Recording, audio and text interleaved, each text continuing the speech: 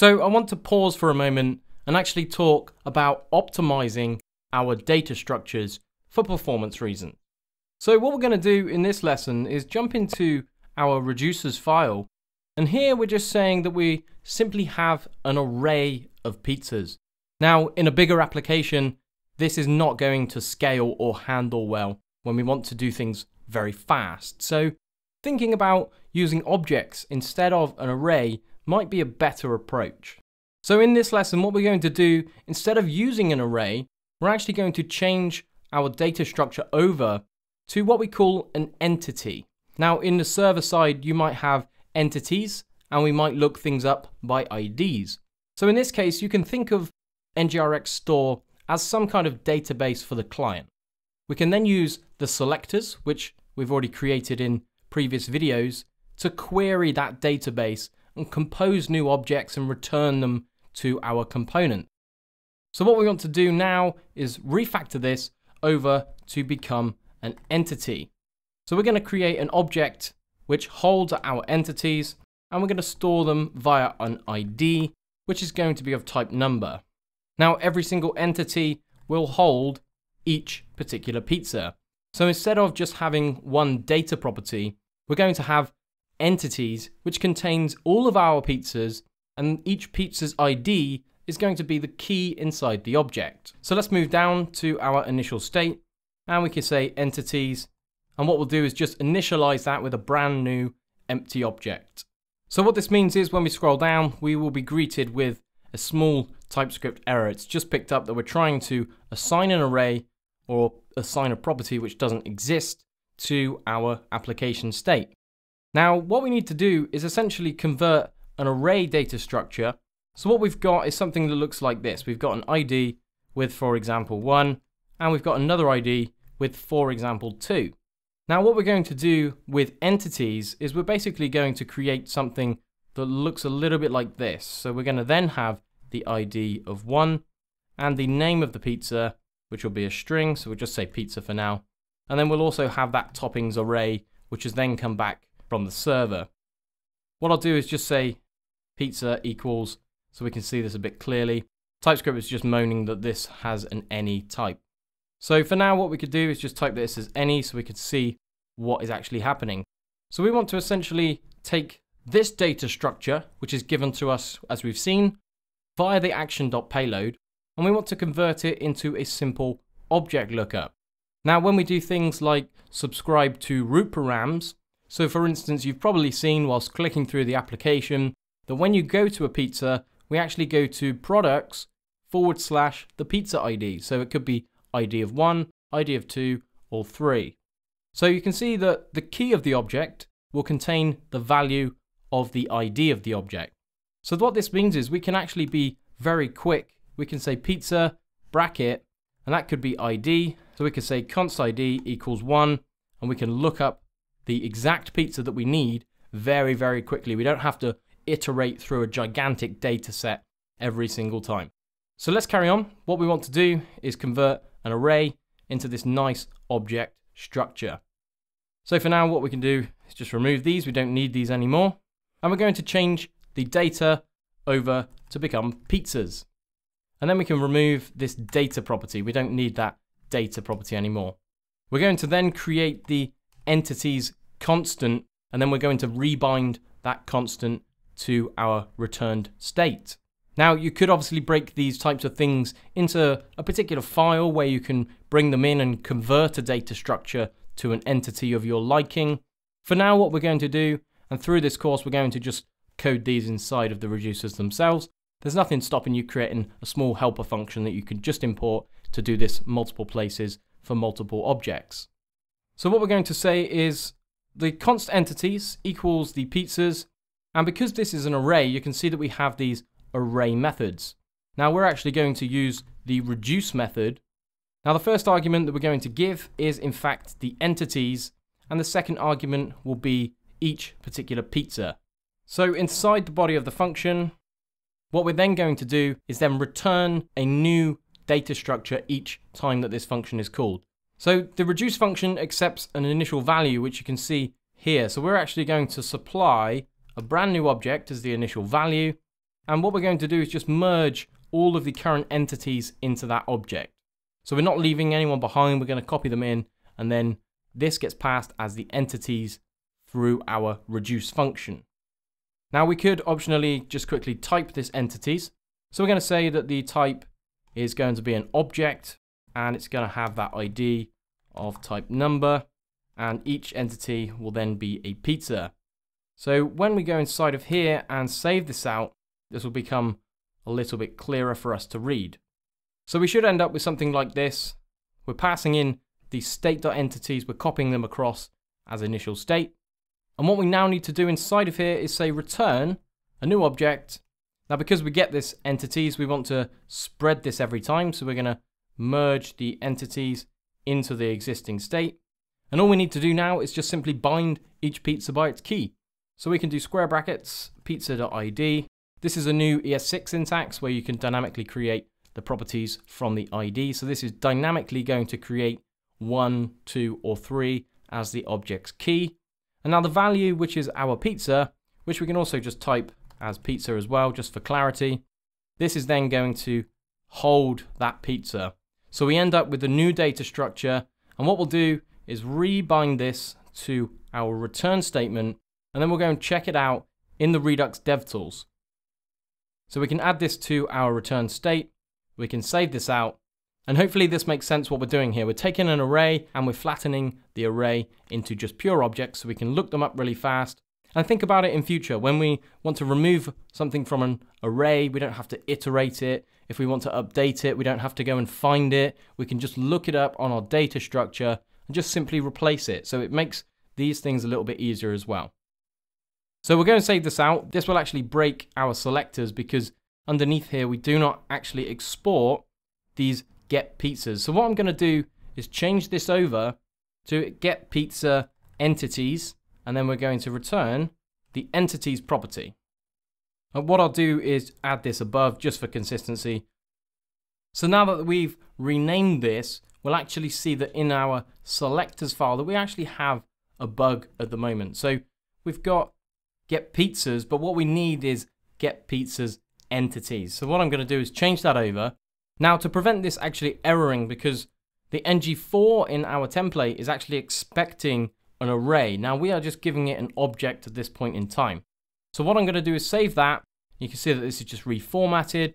And we'll go into this products and just comment out the pizzas observable. So this will allow us to see our data structure in the Redux DevTools.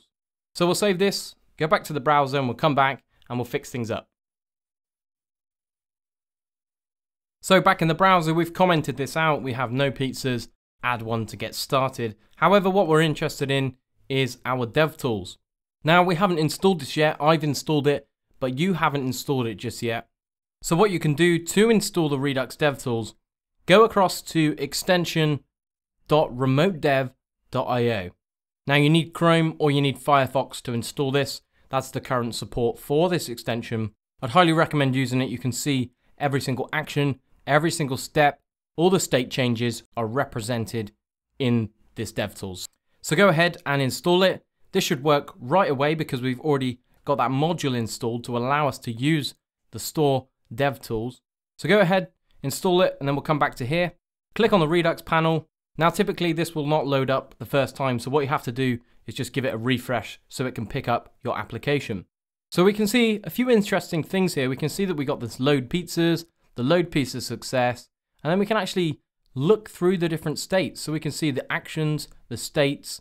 So let's start with the load pizzas. And this will kind of give you a nice walkthrough to the DevTools. So here we can see the tree.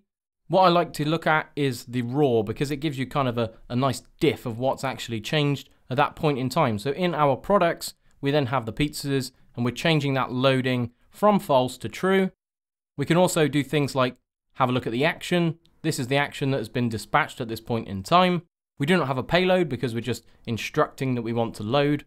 Now, if we actually look at the pizza success, we can see something different. So we have this payload, and then further down, we'll have that type load pizza success. And you can see that this payload is an array which contains all of our pizzas. Now, the interesting part is when we actually go back and look at the state. And we can just have a look inside of here. So we've got our products, we've got our pizzas. Now what we just changed from the data, which was an array, is now a completely flattened object. So you can see here that we have a key of one, and we have the name of the pizza, the toppings. So we're looking for an ID of one for this particular pizza. This pizza has an ID of two.